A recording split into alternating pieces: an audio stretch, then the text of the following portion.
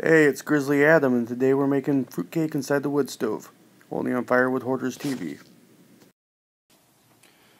Oh, looks like we got a couple different types of maraschino cherries here. And that's a whole bunch of uh, dried fruits that have been soaking overnight. There's also some nuts on the bottom of that. First thing we need to do is get these strained out. Yeah, we're going to save all that cherry juice. Gonna make a drink with it later. There we go. We need a place to put these. Um, yeah, over here. There we go. Just drop those on into this container. Alright, now we'll do the green ones. And they pretty much taste the same, just gives a little different color. Hey! One of these days. Alright, now we're going to get all the rum off of this fruit. This is the rum that we'll actually use to baste our cake. Every month or so you can add a couple spoonfuls of the rum and it'll keep it nice and moist and make it so it, well, it'll keep almost indefinitely. It'll, it'll pretty much preserve it, kind of like Keith Richards.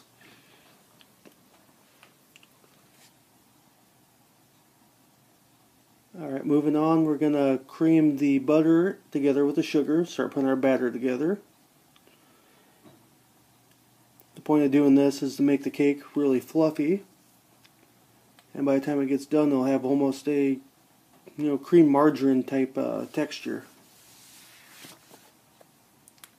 So we'll get that nice and combined before we add anything else in there.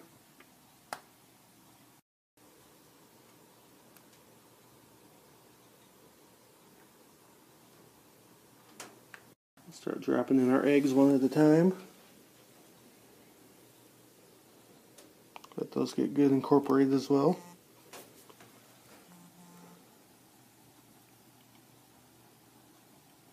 I'm doing actually a really big batch here. I'm doing uh, four times the normal recipe, so it, yours won't look like this unless you're also making a really big recipe. But I'm filling two uh, commercial sized loaf pans and each commercial size holds uh, twice as much as a regular household loaf pan. Drop in another egg.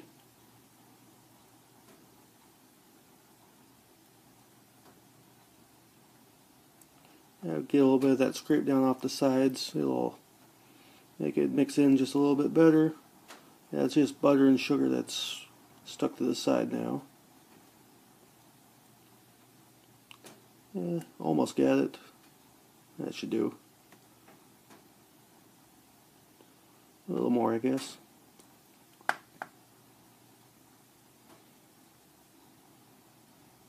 Alright, that'll do it.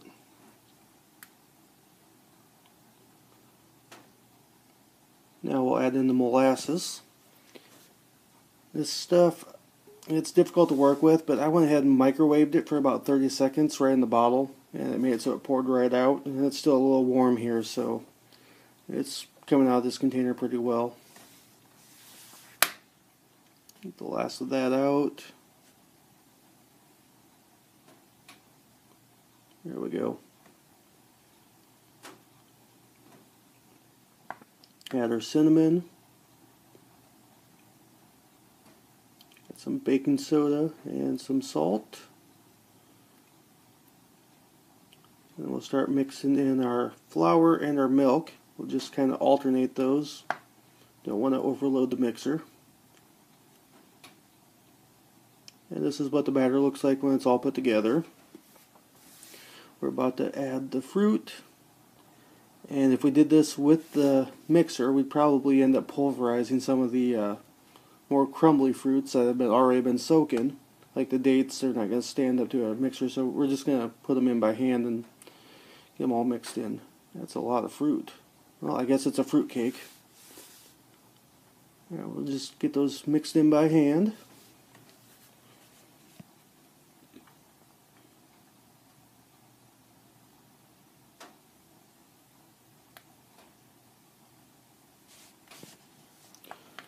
Okay, so in the old world, they would uh, use brown paper and brush it with oil to make uh, parchment paper.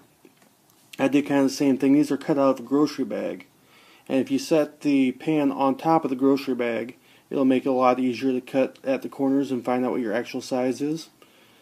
The other one was brushed with oil. You'll see what this one looks like without any oil on it.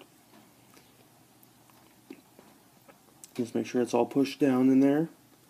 Got a pastry brush to help spread the oil, but I'm going to use this refillable uh, oil sprayer. It's got kind of a pump lid, and just you can pressurize it and spray whatever type of regular oil you would buy, so you don't have to spend a bunch of money on those re or those uh, disposable ones.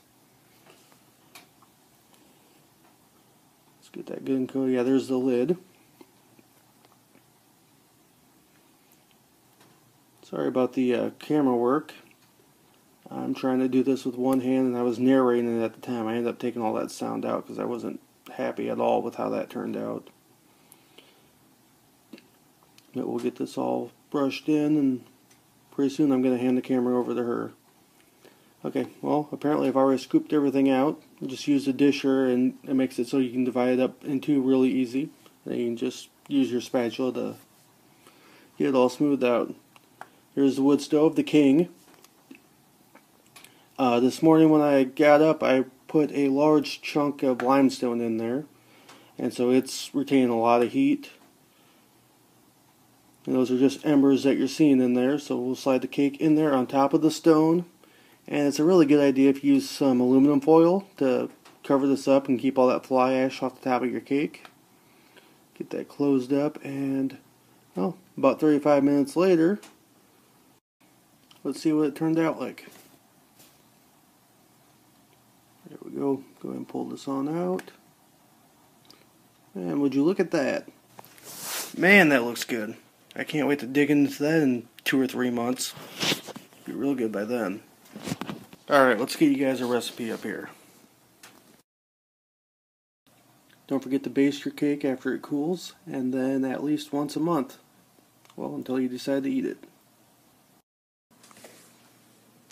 Oh, I almost forgot. Hey, remember that cherry juice? Let's put a little bit of that in a cup. We'll add a bit of cola. There we go. A little more. A little more. Yeah. Give it a bit of a stir. And we have here a Roy Rogers. Hey, I bet that'd be good with some rum. Crap. Hey, why don't you add Firewood Hoarders TV to your Roku?